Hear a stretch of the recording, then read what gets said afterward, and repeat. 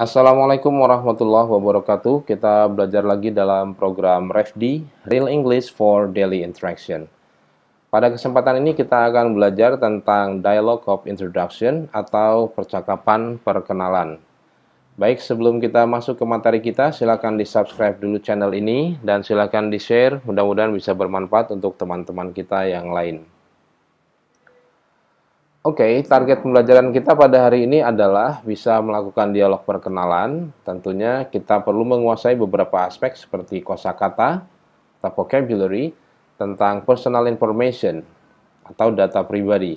Kemudian kita perlu juga memperhatikan ungkapan-ungkapan bagaimana cara berkenalan yaitu pertanyaan-pertanyaan dan uh, ungkapan-ungkapan uh, cara memberikan uh, data pribadi kita.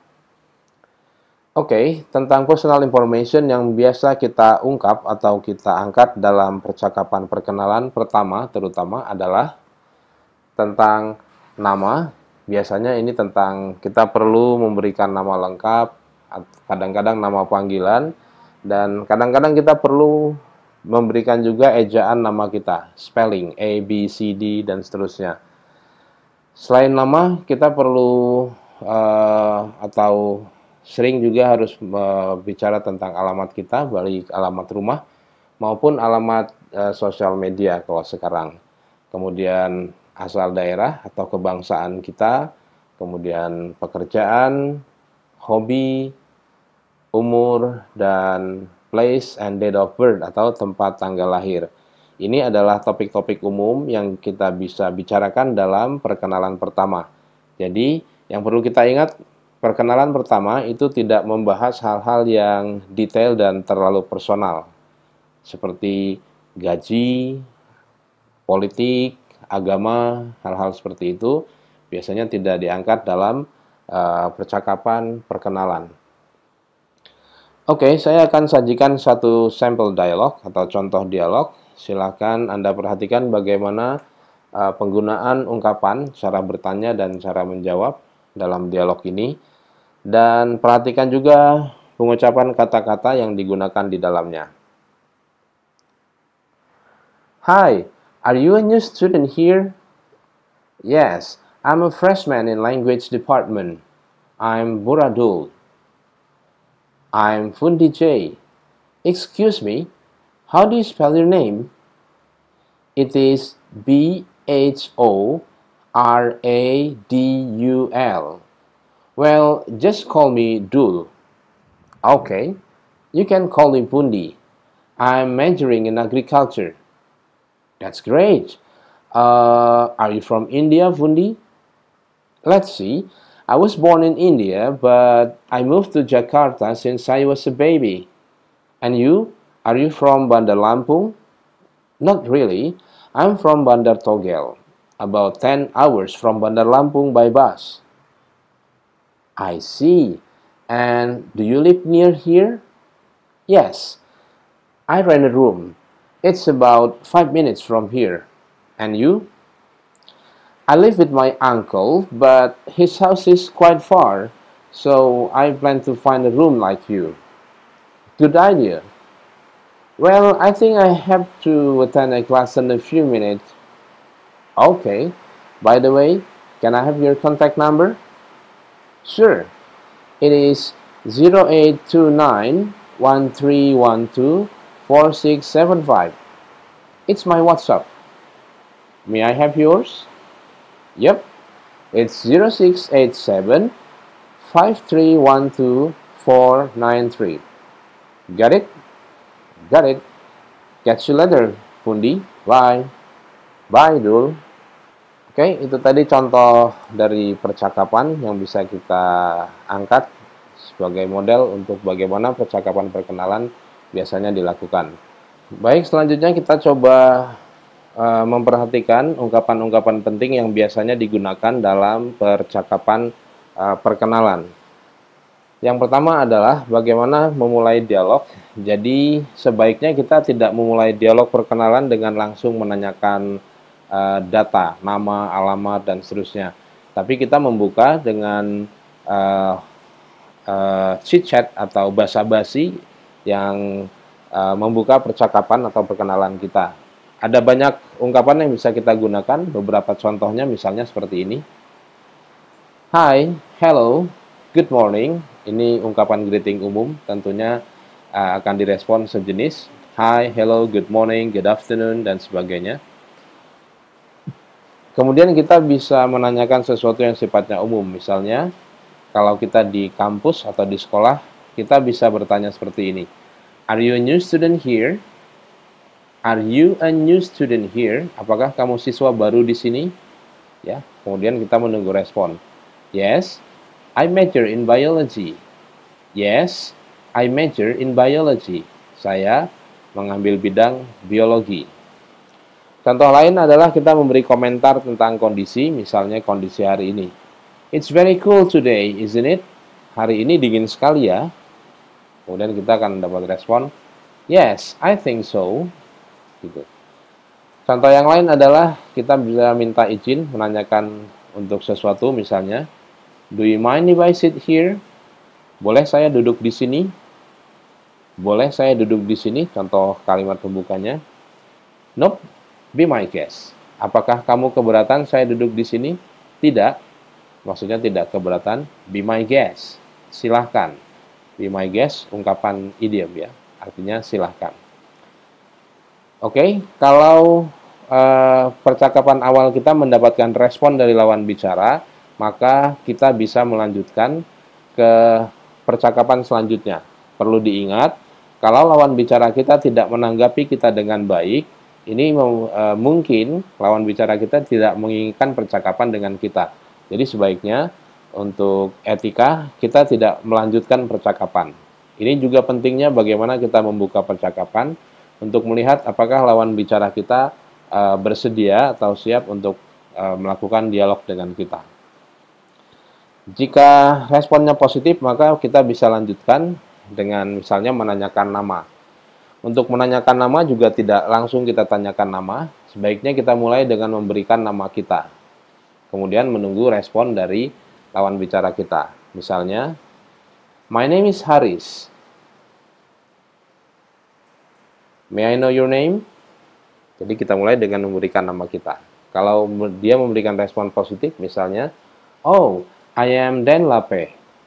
Atau, I am Sri Wirawiri. Just call me Sri. Excuse me, how do you spell your name? How do you spell? Spell itu ejaan, jadi kalau kita perlu, kita boleh menanyakan bagaimana ejaan namanya supaya kita tidak salah mengucapkan namanya. Pertanyaannya seperti itu. How do you spell your name? Kemudian kalau kita mendapat pertanyaan seperti itu, kita perlu menjelaskan seperti ini contohnya. It is S R I W I Sriwi. Sampai di sini jelas kita butuh uh, skill untuk bisa menyebutkan alfabet dengan benar. Jika Anda masih belum uh, hafal atau masih ada sedikit masalah dengan alfabet, pengucapan alfabet, sebaiknya dimatangkan dulu untuk memperbaiki uh, kemampuan dialog percakapan kita. Selanjutnya untuk menanyakan alamat, kita bisa gunakan beberapa pertanyaan, misalnya, Do you live near here? Apakah kamu tinggal di sekitar sini? Where do you live, Sri? Kamu tinggal di mana, Sri? Jawabannya bisa sederhana, I live in Bandar Lampung. I live on Jalan Geradak. I live at Jalan Kaki Way, number 36 Spring Seceng. Ya, kita sudah bahas tentang penggunaan in, on, at dalam pemberian alamat. Atau kita juga bisa ungkapkan seperti ini. My address is apartment Mauroboh, number 456, Lampung. My address is langsung alamat, jadi bukan my address is at. Baik, selanjutnya untuk menanyakan kebangsaan atau daerah asal lawan bicara kita, kita bisa gunakan pertanyaan seperti ini. Where are you from? Kamu berasal dari mana? Atau kita bisa gunakan, Are you from Indonesia? Tentunya kita sudah mendapatkan data yang kira-kira dia orang Indonesia. Are you from Indonesia? Atau Are you Indonesian? Kemudian untuk memberikan data kita bisa menyatakan seperti ini. I am from Jakarta atau I come from Brazil. I am Japanese. Kita menyebutkan kebangsaan kita. Orang Jepang, Japanese. Orang Brazil, Brazilian. Dan seterusnya. Kemudian untuk menanyakan pekerjaan, kita bisa gunakan uh, ungkapan seperti ini. What is your job? What do you do? What is your occupation? Are you a student? Dan menjawabnya bisa seperti ini. I work for Google Corp. I'm a teacher. I'm a student of university. I'm between jobs. Between jobs ini ungkapan yang digunakan untuk orang yang belum punya pekerjaan atau pernah punya pekerjaan tapi sedang tidak bekerja. Istilahnya between jobs. Selanjutnya menanyakan umur dan perlu diingat untuk beberapa kondisi terutama pada saat bicara dengan perempuan atau wanita, umur biasanya menjadi hal yang cukup sensitif juga untuk dibahas. Tapi eh, biasanya secara umum ini masih boleh ditanyakan. Dan untuk menanyakannya kita gunakan pertanyaan seperti ini. How old are you now? How old are you now? What is your age? What is your age? Dan jawabannya bisa sederhana, I'm 17. I'm 17 years old now. I'm 17 years of age. Baik, kita juga bisa menanyakan tempat tanggal lahir misalnya when were you born? When, kapan? When were you born? Untuk menanyakan tempat kita gunakan where were you born? Where were you born? Kamu dilahirkan di mana? Dan jawabannya bisa seperti ini. I was born in Dengkulu on December 3rd, 2002. I was born. Saya lah dilahirkan di dan tanggal. Baik, untuk menanyakan hobi kita bisa gunakan pertanyaan seperti ini. What is your hobby? What is your favorite pastime? Do you like sports? Dan menjawabnya bisa sederhana, I love swimming. I'm crazy about watching Korean drama. I am crazy about, saya sangat suka, tergila-gila gitu ya. I'm crazy about watching Korean drama. My hobby is reading. I like cooking in my spare time. Spare time, waktu luang. I like cooking in my spare time. Baik, untuk menanyakan nomor telepon atau akun sosial media, kita bisa gunakan ungkapan seperti ini. May I have your phone number? My phone number is 0838 920912. That's also my WhatsApp number. Itu juga nomor WhatsApp saya. Do you have Instagram? Do you have Facebook account? Kalau tidak punya, kita bisa ungkapkan seperti ini. I don't access Instagram. I don't access Facebook. Kalau kita punya, ya tinggal kita kasih saja alamatnya. Selanjutnya untuk tanya email address, kita bisa tanyakan seperti ini. May I know your email address? My email is ngawur at goodgirl.com. Do you have YouTube channel? My YouTube channel is Didi Gawo. Baik, selanjutnya um, jika kita sudah merasa selesai dalam percakapan dialog kita, jangan lupa mengakhiri percakapan dengan ungkapan yang uh, memberi tanda bahwa kita akan mengakhiri percakapan. Dengan kata lain, jika kita mendapatkan ungkapan seperti ini, maka kita harus sensitif, kita harus paham bahwa lawan bicara kita juga ingin mengakhiri percakapannya. Ungkapannya bisa seperti ini misalnya, Well, I think I have to leave for the class wah sepertinya saya harus masuk kelas. Ya, kalau kita sedang ngobrol tiba-tiba dapat ungkapan seperti ini, Ini menandakan lawan bicara kita memang mencari alasan untuk uh, berhenti memberhentikan percakapan. Bisa jadi itu benar atau kalaupun tidak, ini paling tidak adalah tanda untuk kita bahwa percakapan harus diakhiri. Ungkapan yang lain bisa kita gunakan misalnya It's really nice to see you. Senang bertemu kamu, ya. Kalau sudah keluar ungkapan seperti ini di percakapan, ini juga bisa menandakan bahwa percakapan eh, lawan bicara kita menginginkan percakapan diakhiri. Dan kita bisa merespon dengan uh, positif misalnya, Sure, nice to meet you too. Senang bertemu kamu juga, ya. Atau kalau dia meminta untuk uh, kontak ya, tetap mengontak misalnya, let's keep in touch, shall we? Keep in touch itu tetap berhubungan. Keep in touch. Let's keep in touch, shall we? kita tetap connect ya kira-kira seperti itu maksudnya dan kita bisa uh, setuju? Sure. Anytime. Tentu saja. Kapan saja.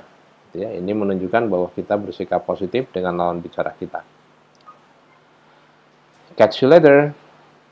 Goodbye.